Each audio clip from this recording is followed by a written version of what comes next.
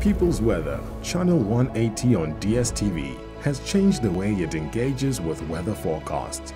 We started to look at cold fronts, coming storms, perfect African sunsets, and the threat of climate change differently. We took the bold decision to go behind the weather map to get the weather's point of view of its role in our lives and how we, the people, experience it.